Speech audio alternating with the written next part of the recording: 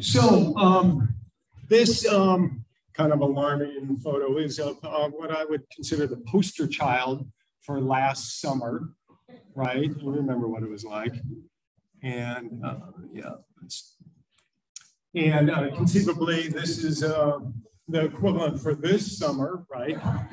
And um, so, you know, the, the, the, climate changes, and that's um, it's kind of job security as far as I'm concerned. Just there's a, this variability, and so what we're actually going to cover today is um, uh, the climate from a, a, perspective of extreme events. It's one thing, oh, temperature's going up a few degrees you know, whatever. What really matters, are we going to have heat waves like we had last summer that much more often? Are we going to have a lack of cold snaps and, you know, cold snaps with their mixed blessing, right? Um, and so we're going to kind of do a little bit of a survey here going through in the next oh, 45 minutes or so. What I'd kind of like to do, and as Bill suggested, is um, not just have this a monologue, but please feel free to stop me at any time for clarification, comments, uh, complaints, or whatever. And so let's, uh, you know, uh, we don't have to wait till the very end. I'm um, not a very formal individual. You know, look at me.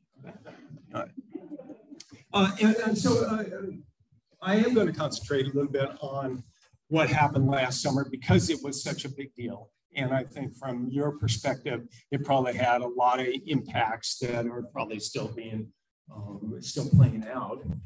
We're going to talk a little bit about what we're seeing in the data and then um, kind of uh, not too much, but what our climate models are projecting for the future from uh, in both a mean sense and from a kind of an extreme event perspective. And um, all of this, so while I'm thinking of it now, I want to mention it in case I forget at the end, is that the Climate Office really wants to work more with the conservation districts. How many of you uh, have uh, relationships, past or present, with the Climate Impacts Group at the University of Washington? A few of you probably do. We're, if not exactly joined at the hip with the Climate Impacts Group, we're probably going to be um, part, become part of that organization now. We're technically a little bit separated, but we're um, we'd like to work more with you, and we don't know what your issues are, and we need to know those, and we can we I think we can help you out in um, in providing climate information or whatever. Um, so the heat wave of 2021 yeah, I'll try to move around so I'm out of the, the camera some of the time. Um, yeah, so I, I, don't know how many of these uh, elements you've checked off here from this, you know, B movie from the 50s and so forth, but um, yeah, it was uh, obviously a pretty big deal. And uh, just to illustrate that, uh, two time series here, one, the top one's SeaTac Airport, the bottom one, Spokane International and it runs from the, uh, the 1st of June through the end of August. Those blue bars show the temperatures each day. The kind of brown diaper gravy sort of band in the middle is the normal range of temperatures at those two locations. And then the red and kind of blue traces at the top and bottom, uh, all-time records for that day. And clearly set all kinds of records at um, SeaTac just uh, shattered the previous record for a high temperature. Spokane just tied it. Oh, didn't, you know, maybe that was a disappointment, but there were plenty of places across the state that set all-time records. One thing I'd like to point out too is um, here, if you direct your attention to that Spokane trace at the bottom, notice how for um, there was a big heat wave at the end of June, but it stayed hot, especially in eastern Washington. I don't need to tell you guys this um, for much of July, and in particular, those minimum temperatures were consistently above normal. And um, this is um, something I'm gonna, you know, hit, hit, on more, just how what we're seeing in the minimum temperatures, the nighttime temperatures. All right. I'm not going to go into a lot of detail about what the weather pattern was with it. You've heard the term heat dome. It's kind of come up like polar vortex. Ah, question in the back. Good. Why are most uh, temperatures staying at airports facility? Well, the airports, they have very high quality instrumentation, um, and it is in many cases, um, it's a kind of a, uh, just an indicator that is used. Um, it's probably more representative of the kind of urban settings than the rural settings. And in particular, um, SeaTac Airport, we know, is um, it's not a pristine location. Um, and so from that regard, maybe you'd pick something else. And certainly in the climate business, we consider elsewhere, but um, when uh, you know people say what's the temperature at Seattle, what the Weather Service forecast is is trying to hit what the temperature is going to be at the airport. So it's not you know the the only spots we care about or even the most Im important spots necessarily, but they're kind of index um, stations. So um, what I show here, the heat dome, this concept of this um, high pressure aloft and that caused sinking motion that um, made for that sinking air compresses, gets that much warmer, and that reinforces that high aloft. There was nothing special in terms of the overall pattern um, for the heat wave in 2021. It was like ones in the past, it was just that much more extreme. And uh, one thing, uh, getting back to this uh, thing that I warned you about just a minute ago or so, is that what we're really seeing and what I'm personally more alarmed by is what the trends are in these nighttime, especially in summer, versus the daytime temperatures. These two plots here show just uh, the vertical axis there shows the day of the year, maybe not so important, but um, what is on the horizontal there is when the really big daytime um, heat events were uh, west of the Cascades, it turns out, in um, Washington and Oregon, uh, going back to 1900. And on the right is uh, the nighttime events, the hot night ones that have actually bigger impacts from a human health perspective and from many environmental perspectives. And what we can see is the daytime events have been sprinkled over the, his, uh, the, the last century or so. They're not getting any more frequent, but the nighttime ones are. And for what it's worth, uh, this study was about 10 years ago. Uh, we're um, kind of updating it, looking not just west of the Cascades, but also east of the Cascades. And so, you know, stay tuned for that or whatever you say. All right.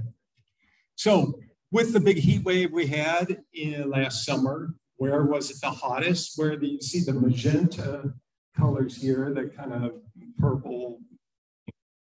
That's where it got the very hottest. Um, and uh, you can see that uh, kind of an interesting sort of pattern there. Really hot in the northern Willamette Valley, for what it's worth. So, um, Portland got to 116, well, um, which is typically, you know, not that much different from Seattle, let's say.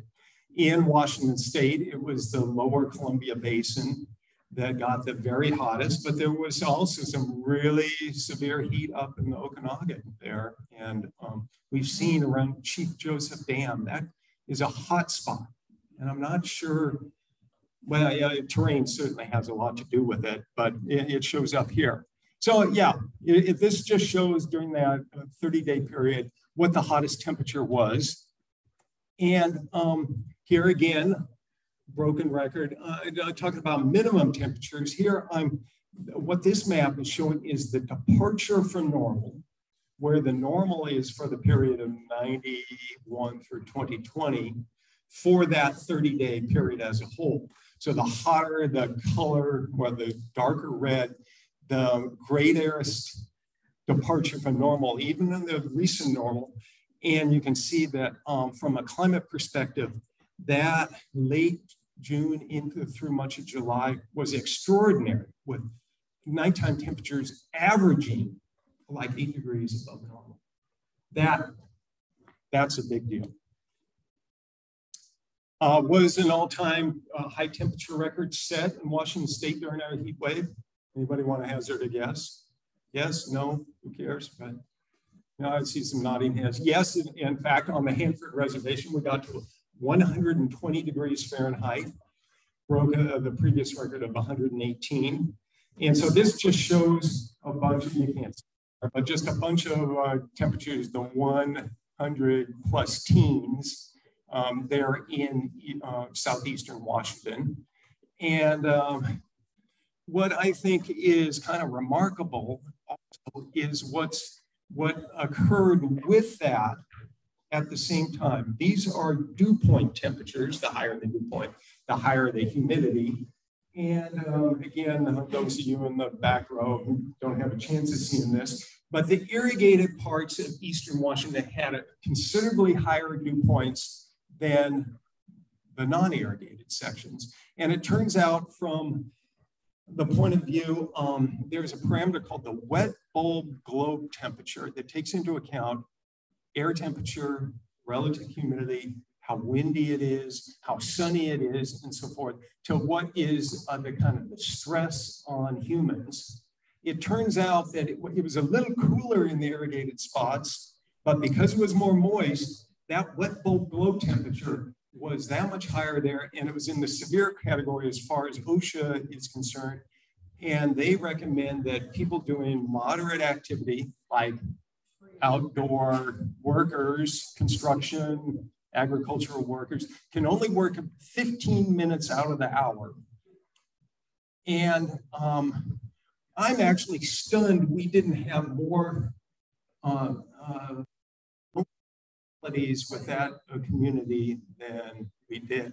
There were a lot of fatalities in the Pacific Northwest, um, hundreds, but uh, there was a farm worker that certainly died in Oregon. I think there was, uh, it's been implicated in another fatality that was in Washington State.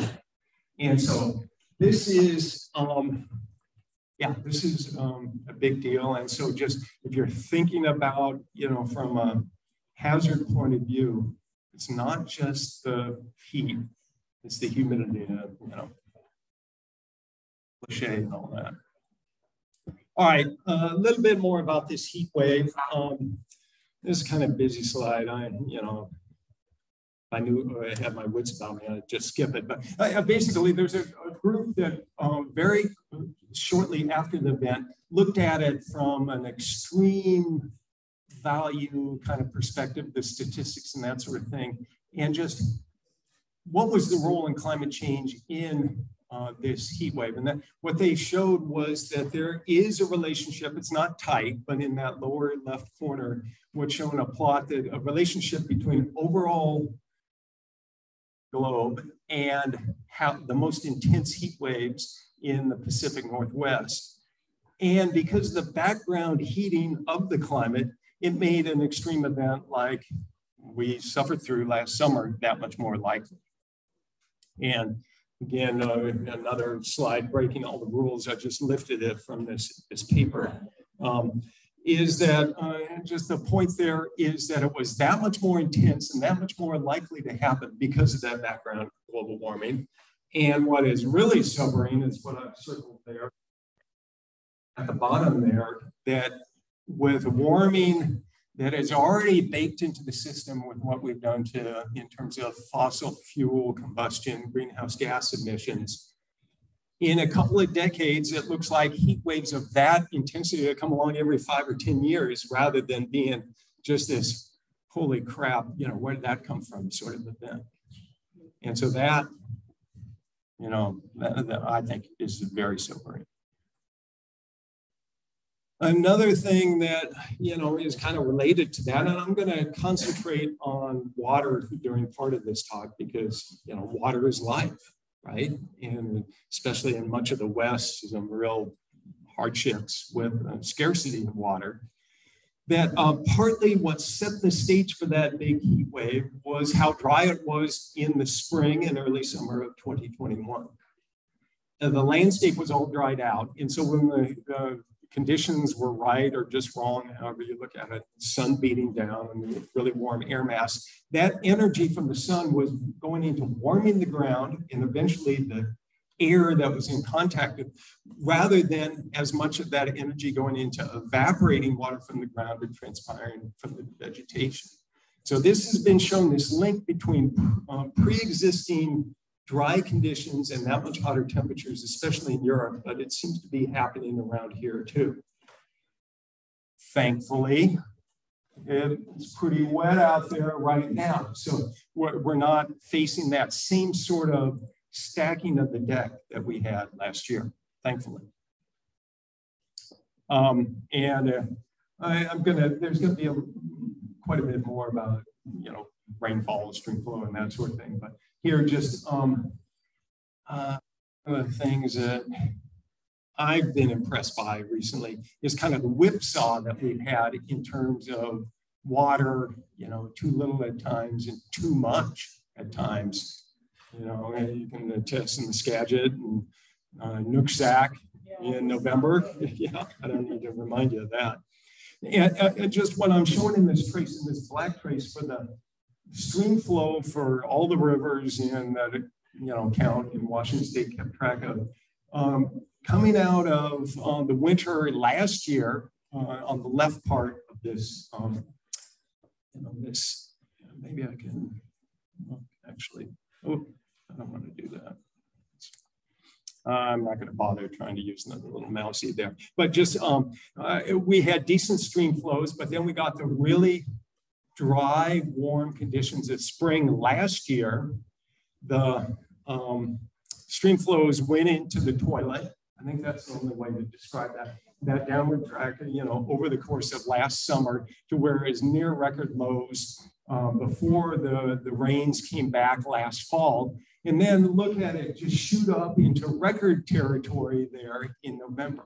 So this is something we're liable to see more of. These are these big swings between our um, historically dry summers and wet winters. That um, that difference is going to be even exaggerated in the future overall. And then what we can see at the very end of that trace, uh, black trace there, how our wet spring of 2022 has really um, increased the flows. All right, um, a little bit more data on just what's what's happening here. This is um, from a paper, you know, obviously published some time ago, but I, I think it gives a nice perspective about um, the kind of place-to-place variability in what we're seeing in temperature trends. As you go from left to right, this is for different seasons, winter, DJF, December through February, March through May, spring, summer, and fall. And again, separating out max temperatures and min temperatures. Red dots show where it's warming over this 90 plus year period. Uh, the redder the dot, the greater the warming. And you can see there's some seasonal structure there. And also you see, you know, redder dots in the minimum temperatures and the maximum temperatures. If not, I encourage you to you know, make an appointment with your optometrist or something. But yeah, it, it is warming up more at night.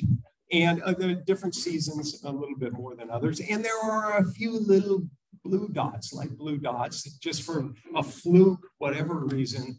There are places that haven't, um, over this period at least, warmed up. And I guess if you're a climate change skeptic, you can you know, latch on that and say, see, you know, it didn't warm up. And it's like, well, they don't have more red dots. What he's saying. So another perspective here, just looking at the state as a whole. Again, I like to uh, contrast maximum temperatures. They're important, no question about it. And uh, this uh, time series goes back to the 1890s. Um, there's a line that's fit to it. There's a lot of year to year and even multi-year variability, hot periods, cooler periods and so forth, an upward trend. But I'm struck by the, you know, the noise in the, this kind of the versus the signal, which is undoubtedly there. Contrast that with the minimum temperature trace. Here, it's not just that the rise is greater, but that just that signal to noise ratio is that much stronger here at the minimum temperatures. And um, with last summer setting the record. Woohoo, yeah, uh, we're number one or something. Uh, uh, going along with that is it's getting a little more humid here in terms of the atmospheric uh, humidity. It's not really, the relative humidity isn't going up, but as the temperatures go up and about the same relative humidity, the actual water vapor contents in the air have increased. This series, we have good data going back to a little after World War II. And um, again, the, the trend is unmistakable there. All right. Time. Okay. Here, you know, there's an upward trend, but I'm more struck again by the variability in the system and that um, the idea that if to really see these trends emerge out of the background noise, um, you have to wait a while. And the, the, message, the important message there is that there is considerable natural variability in the system. The winter coming up, we may have another really cold one, kind of like in uh, the end of 2019. It could well happen, and it doesn't mean that, you know, everything I'm talking about is BS. Um, but, you know, that's, that's just part of the system. I encourage you to make use of this uh, really slick application. I kind of pat myself on the back and that right. Uh, the, um, the Climate Office put together so you can look at what's happening in your neck of the woods. And uh, there's a URL at the bottom, but if you just go, go to Google on the Washington State Climate Office and follow your nose, it's easy to get to. But you can look at, for different times of years, for different windows, you can look at what the trends are in the temperatures, and you can look separately at average temperatures, maximum temperatures, minimum temperatures, precipitation, and so forth, and um, get an idea for yourself what your, again, your region, your county, whatever, has experienced over the, you know, uh, the interval of interest. All right. Um, a few things I want to talk about, getting back to extreme events here, is um, just what some of the data is showing um, for reasons that mostly because I think it's a cool name. I, here I picked Ritzville as representative of um, Eastern Washington in the kind of state almost. And uh, this blue trace and red trace um, collectively shows the number of days in which you have either really cold nights, the, the, blue trace when it gets below 15, how many there are each winter, versus uh, the red trace is how many nights never get below 60. And um, the message here is, yeah, there's fewer of those cold nights than there used to be.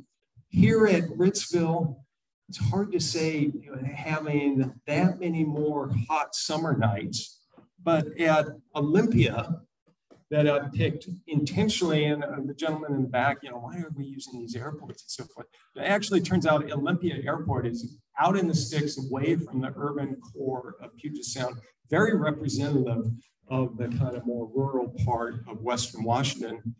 In this case, both the number of cold nights in winter is going down and the number of hot nights in the in the summer is going up there. And so it's um, a little bit different um, sort of time series than Ritzville. But again, um, if you're kind of interested in this kind of data for you know a spot, um, you know, right in your backyard, please contact the office and we can you know get you this kind of information or whatever threshold you might be interested in.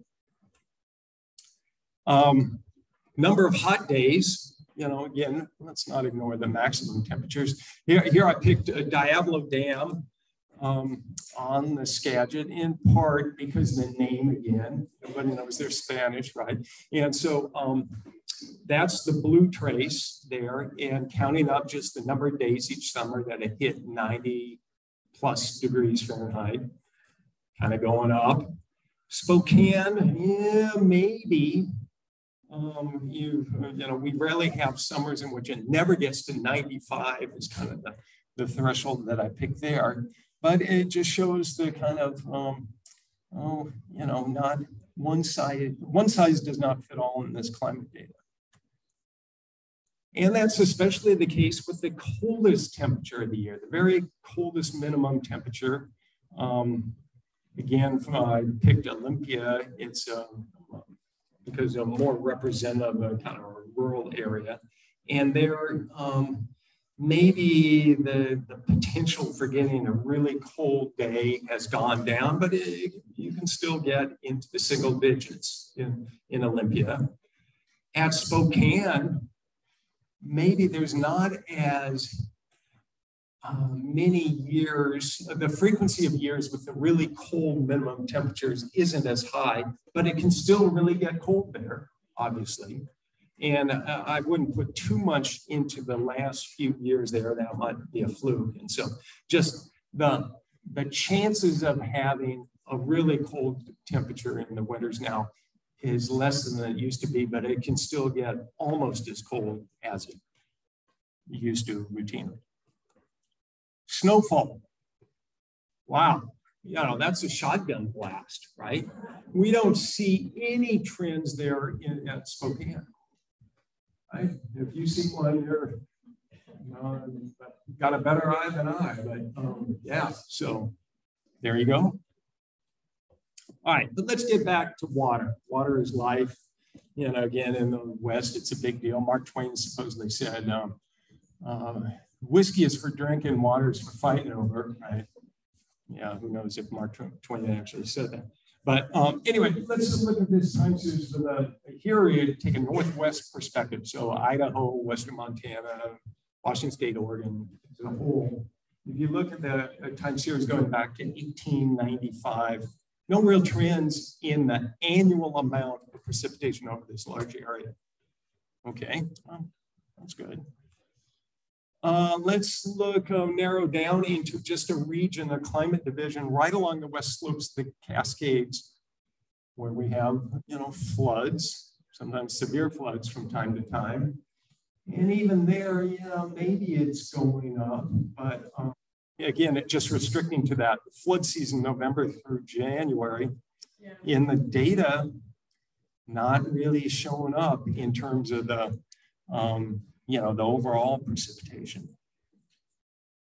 What is showing up, of course, and you know, I don't need to, uh, nobody's gonna kill over a surprise here, is the end of season snowpack across the Pacific Northwest and Washington State. And so what's, again, with our handy dandy trend tool, we have some data where you can look for yourself what um, where those trends are, where these brown, big brown dots are, or where there are statistically significant downward trends in the amount of water in the snowpack bank at the end of winter, typically considered April 1.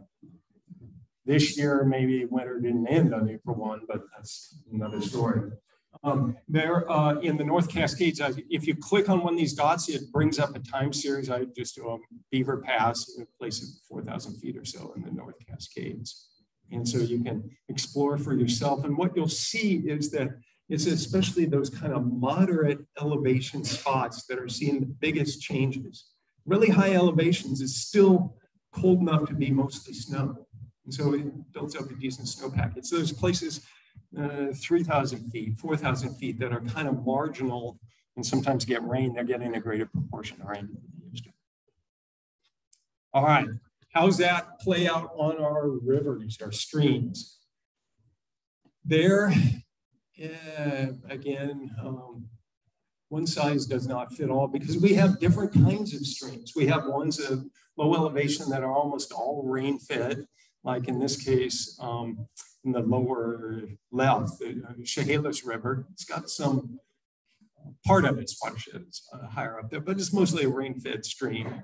The Samish River up in Northwest Washington is another example of that.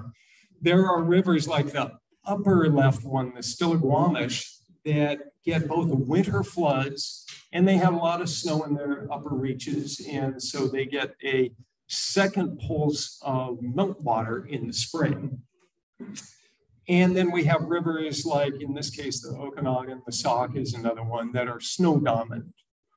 And what we're seeing in terms of the, the magnitude of the floods in these different spots is different. And in particularly these mixed rivers like the Stilling are the ones where they're getting more rain uh, in proportion to snow than they used to in the past. And uh, some of those rainstorms are that much more intense. And so there's definitely an upward trend in the, uh, the kind of potential for the maximum flood each year. And the, these single dots are showing what the, the highest flow was, daily flow um, for each of those seasons. So that's where we're seeing bigger floods. Uh, it seems like in these rain dominant rivers, maybe there's some tendency uh, not so much. But on the snow dominant ones, the flooding is overall getting a little bit less. And um, in that, if it is not as much snow when you have in the winter time, then you're not, when the spring melt happens in a big way, then it's not going to be as uh, severe as it has. But you can still have big years. That dot there on the the far right of the one for the Okanogan. That's 2019. And there was, for folks who were living around there, there was some major problems with flooding there. And so it can still happen, but it's just overall, that's, uh, we're seeing different trends there than elsewhere. And let's go back to the nightmare that was uh, the winter of 14, 15 and um, you know uh, near normal precipitation, but uh, the warmest winter we've had on record, terrible snowpack, worst ever. And we definitely saw that in our streams. Uh, here's an example the South Fork of the Nooksack, where that those gold little dots show the average temperatures there over the course of January through October. And the blue trace there, this is again uh, 2015, shows what the actual temperatures were there with uh, flows going low and warm a lot earlier than in the season than usual. And of course, that did a number on uh, a lot of the uh, salmonids and, and, trout and so forth. We actually had record returns you know, for some species, some groups, uh, stocks, I should say, coming into the Columbia in 2015, but a lot of them, especially the sockeye that are trying to get back to their hatcheries and uh, um, spawning grounds at the, you know, a hot time of year, it didn't make it.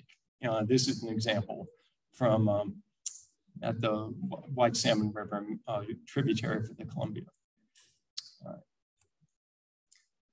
Uh, and one thing, uh, you know, I showed some, uh, a trace there that um, precipitation overall for the year as a whole isn't really changing too much. In winter, uh, you know, in places of flood prone places, maybe not really changing that much. One thing that I'm really getting concerned about is what we're seeing in the summertime. This is for the state as a whole for the months of June through August. And I just circled the last 30 years or so. That may turn around. We had a wet um, year there, I think it was 2012 or something, a kind of a wet summer. This one may end up being that way. The weather we're having had the last couple of months isn't guaranteed to continue into summer, mind you. But this overall trend with the idea that as the landscape dries out, then you know there's obviously could be water scarcity problems, but it can get that much hotter too um, when there's not that water to evaporate.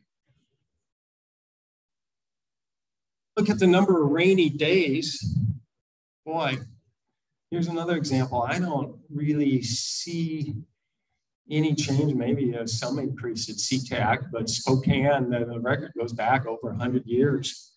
Um, there, I would call a rainy day a half an inch. There doesn't seem to be that many more of them, if any. Maybe on the west side, they're going up some. Uh, there'll be a little bit more about that in a minute or two. Okay, so want to just briefly shift gears here um, about kind of storminess and winds. And I just, this is an example of me making stuff up. Um, and I need your help. Does this count? Do you care how often it is windy. Because um, this is uh, some of the climate data that hasn't gotten enough attention, and it's kind of a, a pain in the rear to get a hold of that, but um, perhaps we can help out here. And what I've just shown here is a number, number of hours for various places across the state. Hoquiam, the blue trace gets, you know, um, windy more than 29 miles an hour uh, more often than other spots. Um, SeaTac is down there in the basement, not a windy spot. And then a couple of spots, um, Pasco in the gray and Spokane there in the kind of yellowish color. Uh, you know, are there any sort of trends here? You tell me. Uh, one thing that's kind of you got to be careful about is the instrument instrumentation has changed the reporting practices have changed. And, um, and in particular, right around 2000 is when that happened. And there seems to be some, some things that change around then. Can also look at gust speeds. Maybe rather than the mean winds, it's the maximum gust that's going to bring down the tree limb or, or whatever. And there, we're seeing actually some trends toward more hours with these really strong wind gusts. And so I think this is interesting. And again, um, if you're interested in some of this data, I could, I bet I could get it for you. Also, if it's per season, because we have windy seasons. Yeah. Great point. I, I just look throughout the year, and if it matters more in the summertime or especially in the fall if the trees are still in leaf and they're better sails and tend to fall down more in the Spokane area, we've definitely seen that early season storms do more damage than late season one. And I see other places in the country. So it can be parsed out in, that way. Um, all right. So anyway, that's an open question. Now, you know, not all of the state, let's say, is obviously is uh, next to the ocean, but uh, plenty of it is. And um, sea level is rising, right? You know, stop the presses. Okay, uh, here the um, just from the tide gauge in um, Seattle, going back to the 1900, the upward trend with El Nino events kind of superimposed on it is is pretty um, pretty much there thanks to some work that was done by Washington Sea Grant, working with the Climate Impacts Group, they did a, a, very nice report about the prospects for sea level over the next decades and so forth. And there, um, as many of you probably know, we're still recovering from the ice age from a geological point of view. There's parts of the, the state that are still uh, rebounding from the weight of the glaciers. And so on this uh, this little map on the left, those red areas are where the land is rising. Still, we're kind of recovering from having this big heavy ice sheet on it. Other parts by are actually subsiding that much more than they otherwise would be. And so, you know, kind of one size doesn't fit all. But the, as part of this report, and you can go in and select your location, they have some very um, important information on what the kind of range of sea levels we're liable to see into the uh, in the future, whether you go with this um, uh, kind of more extreme climate scenario, the kind of worst case one, the 8.51 in this, um, in this parlance, or the more optimistic one, the 4.5 one. And so you can see there, you know, what what might be able uh, might be anticipated. And uh, one of the messages is that over the next couple of decades, it kind of doesn't matter what scenario we are along as a global society, and that a lot of these changes are already baked into the system, pun intended. Um, and then uh, this last little note here is the elephant in the room is a Cascadia subduction earthquake. If we get one of those, all bets are off. And um, and so you know to have the uh, the land elevation drop, you know, multiple feet. There there's parts of the state that would really uh, badly damage. Harbor Island in Seattle, where all the shipping comes in, the big docks there. That's basically the spoils from the Denny Hill dredging, or, um, and it's not very far above sea level. Few more things, and then I, you know, you guys have been too polite. I don't want to have a discussion here. We might remember the blob, right? The warm temperatures off the coast here, and in particular, what that that did, one of the big things was all the harmful algal blooms, uh, um, basically unprecedented geographic extent and severity and duration, and all the implications there were for commercial and recreational fisheries and so forth. And um, uh, I'll, I'll, get to that when we get into the climate change thing in just in a minute or two. Another thing that I'm sure you guys uh, think about all the time is wildfires. And here, these two traces, um, when I could get my grubby mitts on easily, just goes back about 20 years or so. The red traces the number of fires. People are stupid, right? Most of them are actually human causes. So certainly when there are big lightning outbreaks, that's a problem and so forth. But we don't have that many more fires than we used to. We've always been stupid, right? Um, but the acres burned, the, um, kind of the traces kind of more brownish there, that definitely is on the rise here in the last 20 years, and especially with 2015 being the, um, the record here and uh, 2020 uh, being no slouch itself. We're seeing greater smoke amounts, especially in the Puget Sound Basin, where it, it used to just not be a problem. Um, people in Seattle, they uh, whine about, oh, it's so smoky. And, you know, if you live in Leavenworth, in um, Omak, Spokane, you know, uh, Pend County, yeah, yeah, you know all about this. And in turn, it's uh, this trait um, series only goes back to about a decade or so. But in Spokane itself, on those values during the summertime are inching up. On the other hand, there are some success stories. I don't want to be just Debbie Downer here. In, uh, in particular in uh, the Puget Sound Basin, there's a lot more people than there used to be, but in the winter, air quality is a lot better. People aren't just burning their wood in their fireplaces just for the hell of it the, uh, the really dirty old uh, wood stoves have been phased out. They heat the burn bans better. And that's a, this is a real public health su success story. Average um, PM 2.5 concentrations are less than half what they were um, just uh, 30 years ago or so, even though there's a lot more people in the Puget Sound Basin. So um, I don't know, look for encouragement, right? When you get it in terms of another pollutant that doesn't get a lot of attention around here, but maybe should, is ozone. And especially if you're a forester, you actually act, uh, care about ozone because it can um, it can do a number on the trees.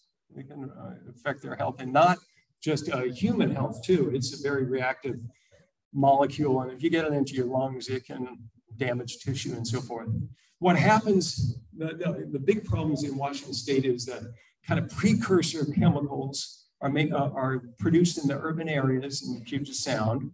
That witch's brew is acted on in hot temperatures in the sunshine and blows up into the foothills of the Cascades, and that's where the high ozone is. And so what this uh, trace here shows correspondence between maximum temperatures at SeaTac and in Enumclaw um, on the west flank of the Cascades, um, how they are day by day through um, with uh, during a pretty hot summer of 2009. And that big peak there in the middle is when the previous record was set at um, SeaTac Airport in terms of um, maximum temperatures.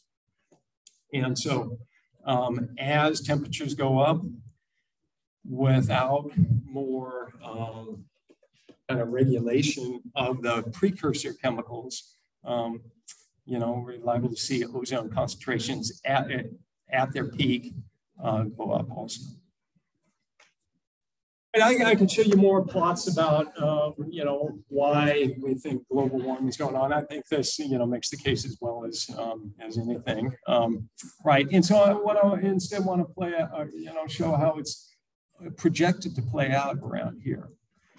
Yeah, it's going to get warmer, especially inland versus the coastal regions. This show at the upper left is for the winter months, December through February, and um, lower right, the summer months. The ocean has a lot of thermal inertia, will kind of modulate the warming. It's warming up too, and actually taking up a majority of the heat in the climate system.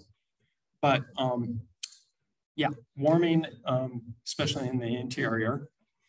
And uh, getting back to something I mentioned before, this idea that um, more water when we don't need it as much, rainier winter or wetter winters, and drier summers, even more of a Mediterranean climate than we presently enjoy.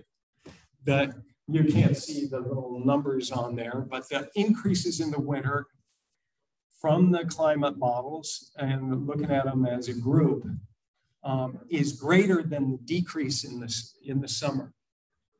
It also means, um, you know, wetter British Columbia, that's the headwaters, the Colum uh, Columbia River, and so we're expecting actually increased overall flow in the, uh, the Columbia River. And so if your uh, customers rely on water from the Columbia project, um, probably do okay.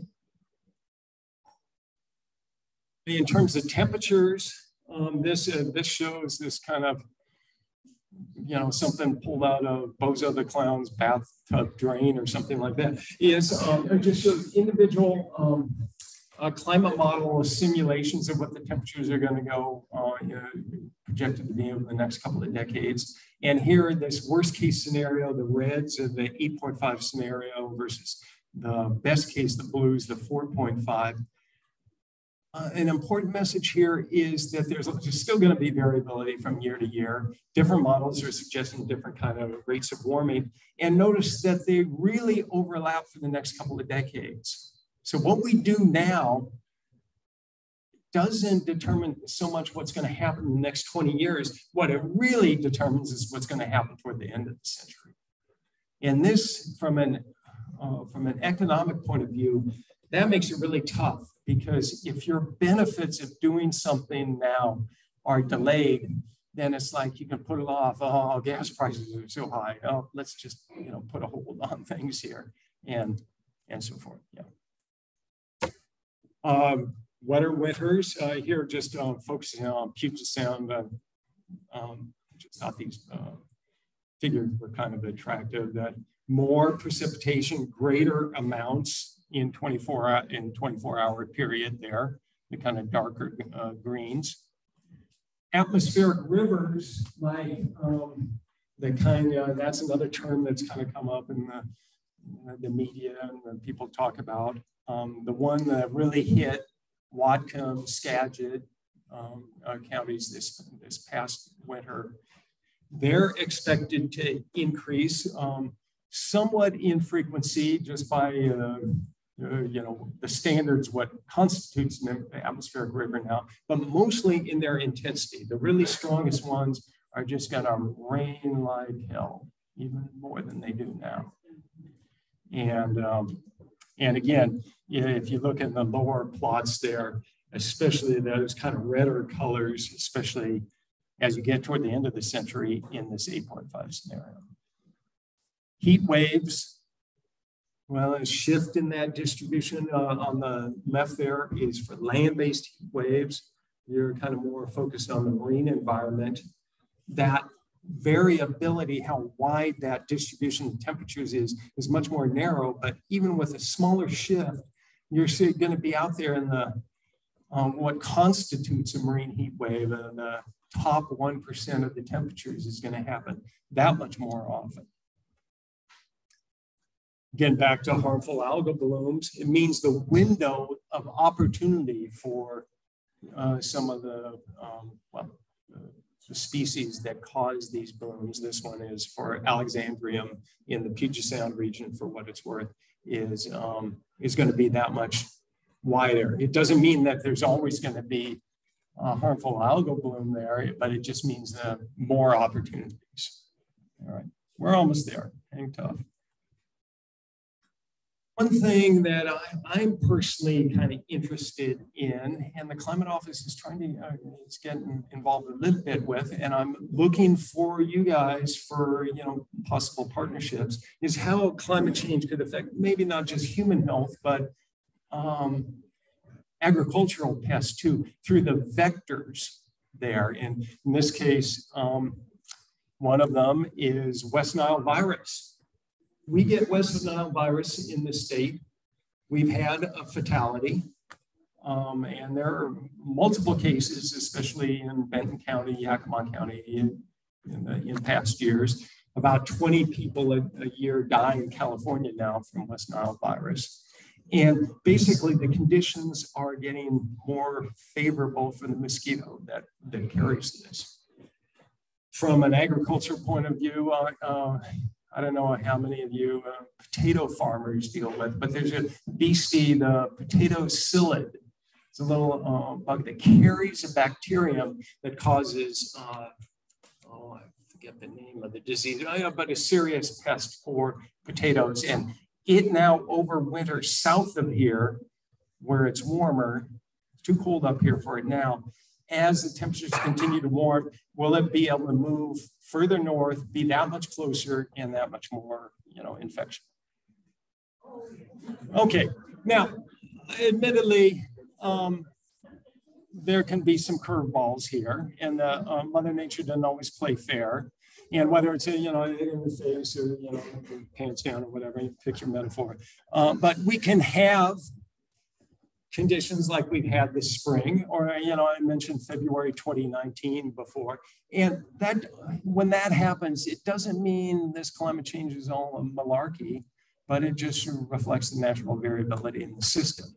And um, see, I stole this unabashedly from the onion here that, um, yeah, it's still, things are changing.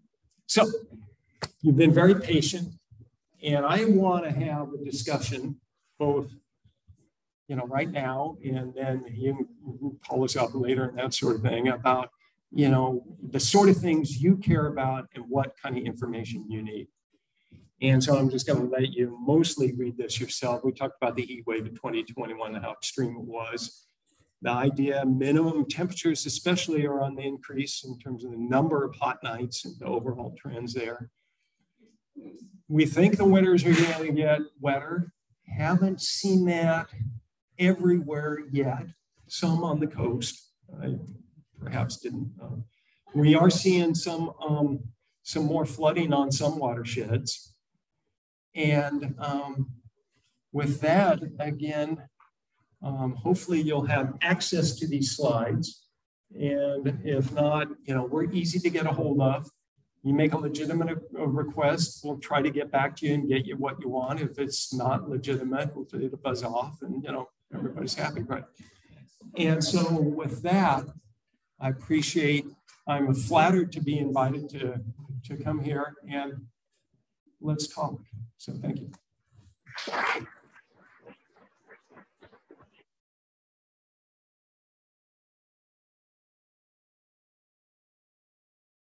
Hmm. Who's, So. Please. Lynden, we actually had hundred and seven, I have it on my phone. And later that year, we had five degrees before the northeaster wind. Yeah. I mean, this is like severe swings. Then we got great flood, right? Yeah. So it's like, it's been crazy. I mean, now it's just really moderate, but the swing was the biggest I've ever seen. Yeah, and uh, so uh, a great point there about this, you know, the whipsaw and so forth. And a, uh, a legitimate question is, are we getting those bigger swings? And it's actually um, really tough to tease out because it's a it's such a noisy data set, and to be really statistically sure. Yeah, for damn sure, you know, that's definitely changing. There's some hints of that, but um, I'm not sure yet we've necessarily seen changes in overall weather patterns that are systematic enough to say, yeah, it's a, it's a different ballgame. Temperatures are rising. no question about that. But uh, you know, storm tracks change and all that. Yeah. Uh, so that's a kind of an admission of defeat. So thank you. Somebody else, please. Oh, don't be bashful. Yeah. Well, tornadoes seem to that I never remembered as a kid. Exactly. I never heard about a tornado touching down. Where are you from? Okay. Yeah, well, we do have tornadoes here. And in fact, uh, it was in 1972 or 74, one of those years, um, that Washington State led the nation in tornado deaths. Uh, a, a, big tornado went through Clark County, just north of Portland. And um, we do have uh, springtime, they tend to be not as severe. That was just, you know, the fluke of all time. But we do have we do get those storms that occur in the spring when the conditions are just right. And if anything, what again a noisy data set, we're tending to, I'm tending to see fewer thunderstorms in spring, but maybe somewhat more in summer. And uh, it's the spring ones that um, that have can produce tornadoes, and there have been some others in Western Washington in um, oh, how many? I, there was a May a few years ago, in which there was a um, one uh, around Port Orchard, I think. And, um, yeah, and um, so, but um, a, a, good question, and again, um,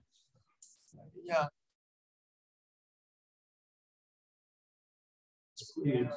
Oh yeah, hey. Oh. Yes. Yeah. Sorry. Um, yeah, we were just talking about tornadoes, but too late now, right? so you brought up the wind. Okay, so you know, conservation districts they came out of the best the combination of the wind and the dry soil. So, you know, we've seen projections for sea level rise. We've seen some of the models that showed what wind's been doing. So, what is there any anticipation that that's yeah.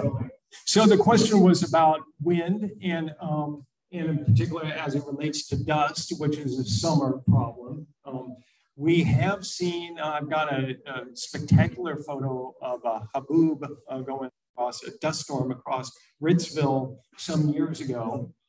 And um, so with drier summers, more dust, there's the, chance for that to happen. And uh, what I need to do, and it's kind of on me, is to figure out, you know, just what are the trends there in um, in the wind speeds and the maximum gusts, and what are our, our climate models showing? And getting back to the dust is a serious thing. There's, of course, visibility for drivers and that sort of thing. But there's a fungus, valley fever, that is in dust that gets, uh, it's endemic to the southwestern US. We're seeing it up here somewhat. And the idea that uh, it grows when it's wet in the winter, soil dries out and the spores are then distributed in dust storms. And so if we're seeing more of that, that that's important from a human health perspective. Yes, please. Yeah. How do you envision this predictive modeling to benefit us, and what what do you envision for how do we communicate that to our constituents? Yeah, yeah, and so there, um, great question, and uh, perhaps we'll be covering uh, things kind of related to that in the session that Bill's going to lead. I'm not sure in which room at um, after the break at three. But um, what I envision is first a dialogue between the climate office and individuals like yourself with conservation districts about the sort of things you want to know more information on.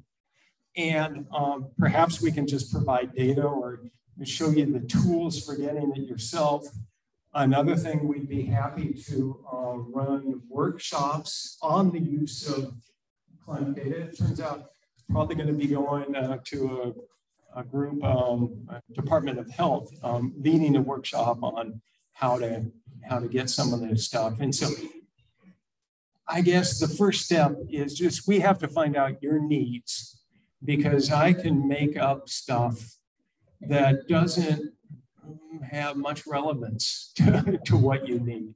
And so that that's the important first step and be happy to, you know, just try to initiate more of those conversations.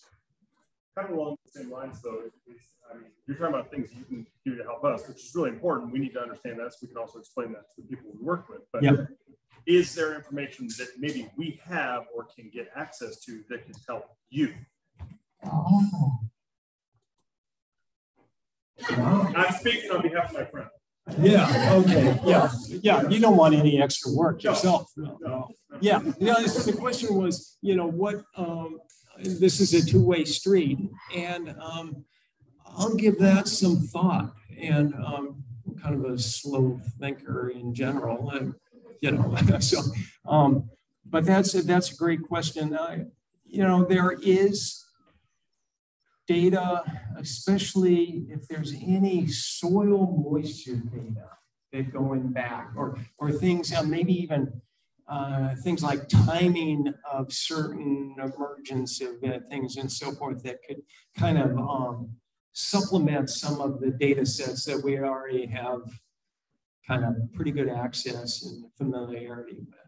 And so that's just off the top of my head, but I'm not sure if that's, So, so, so for example, I mean, one of the things, I- I'm up in Okanogan, so Yeah. one of the things we're working with some landowners to, do, just a handful right now, but we're looking to expand it.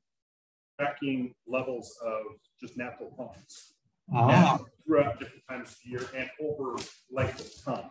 Yeah, so the, the comment there was about um, uh, tracking ponds and perhaps groundwater. And I'm glad you mentioned that because one of the things that is kind of disturbing what's happening in the state is that groundwater is being mined in various places at unsustainable rates.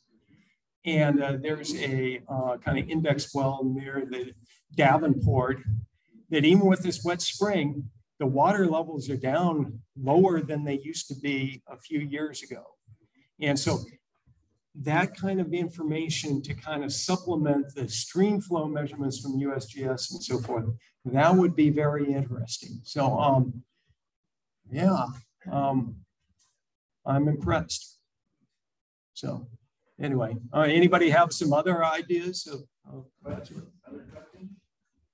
you know, anxious to get to the break. Um, and, uh, Right, again, I'm gonna be around the, the remainder of this afternoon, I'm gonna, um, you know, elbow my way into the dinner line too, and so I'll hopefully have a chance to have some conversations with you.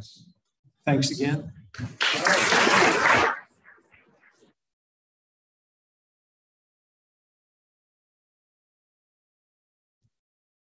Okay, yeah, I can see already uh, what, what you're thinking about, it, and maybe it's meshing through our technology, and how do we get our data, and process data, and mesh, because we're in a new generation, right? So every, a lot of stuff's gonna be online and technical and Zoom in, so we don't all have to drive, but it's nice, we're happy we're here today, but see us connecting and getting our data and figuring out a local spot for that. So, because yeah, I can just see how it would help to present some of this stuff and, and vice versa, and see how we can connect. So Thank you very much for that. Um, okay.